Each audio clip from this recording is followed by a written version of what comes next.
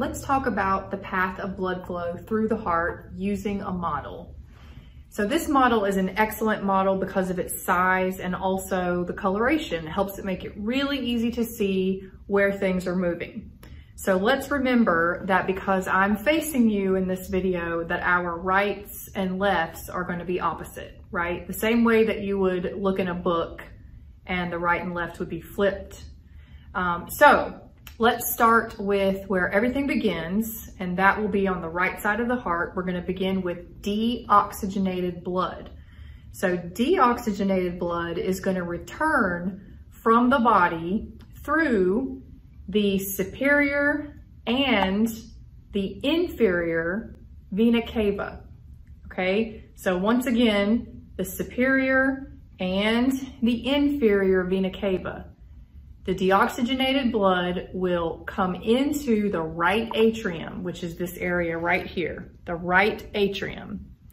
And on the surface of the right atrium, we can see a wrinkly flap here, a bit like a dog's ear, and that is known as the auricle. And the auricle is extra tissue for expansion.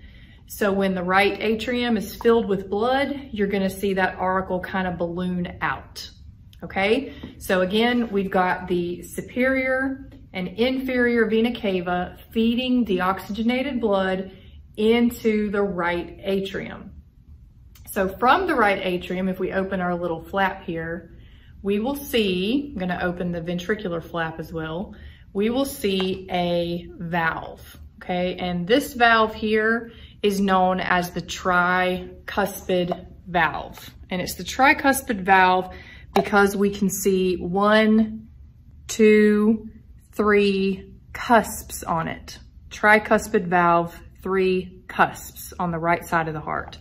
So we're gonna take that deoxygenated blood and move through the tricuspid valve into the right ventricle. Okay, so at this time, the blood is still deoxygenated.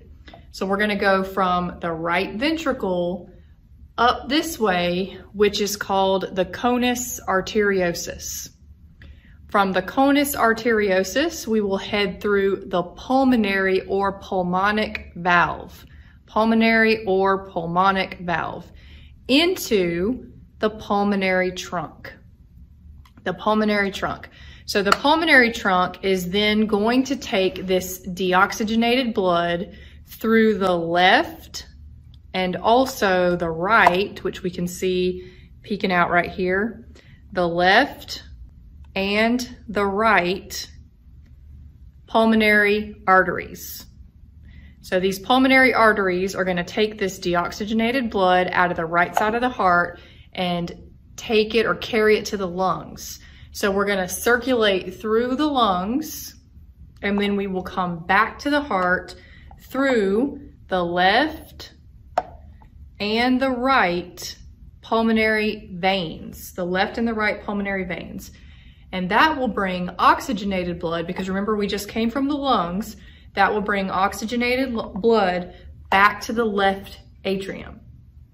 So in the left atrium, we open that up, we're gonna move this oxygenated blood through this valve, which is known as the bicuspid because it has two cusps, one, two, one, two, or we could also call it the mitral valve. So either way is totally fine, the mitral valve.